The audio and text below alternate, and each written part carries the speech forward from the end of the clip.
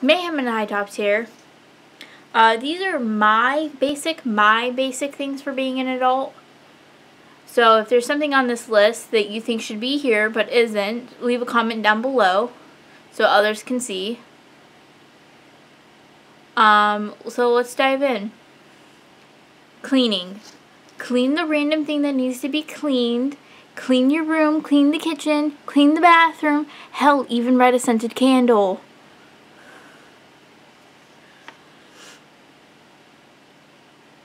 Learn to cook and bake.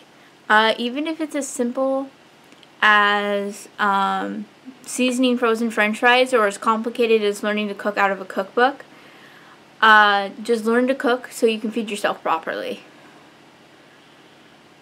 Learn to budget. Uh, money management is very important because money is what makes the world go round. If you don't know how to manage your money, life will get very, very hard on you very, very fast.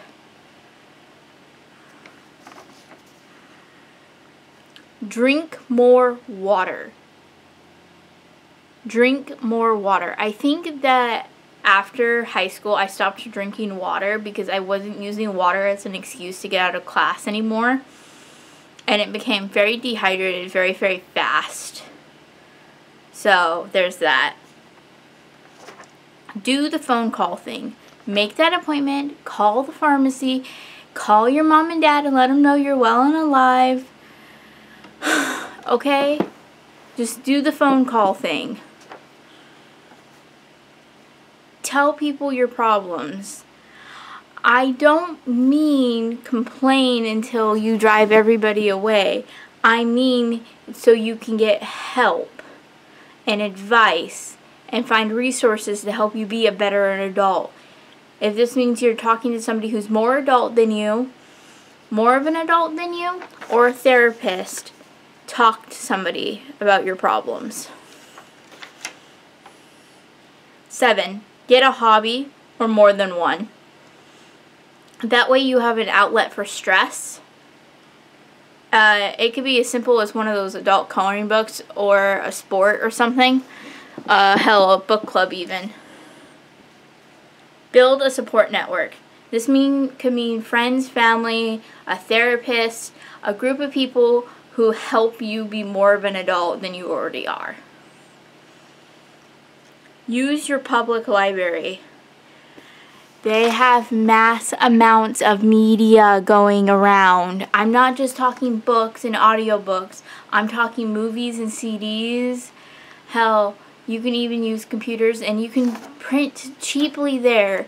Cheaply, like 5 cents a page. Unless it's colored, then it's like 15 cents a page. You just got to throw that in there. Learn the basics of home maintenance.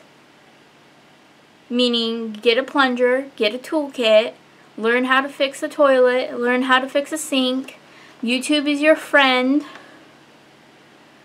And now, if you live in an apartment or you absolutely can't fix something yourself, get help right away. Like tell somebody that the toilet is clogged. Tell somebody the sink is clogged. Tell somebody the disposal is not working properly. Tell them that hey, this light keeps flickering and I can't change this bulb by myself. Okay. Have basic sewing skills. Learn to sew a button. And learn the basics of a sewing machine. Learn how to hem pants. Personal hygiene.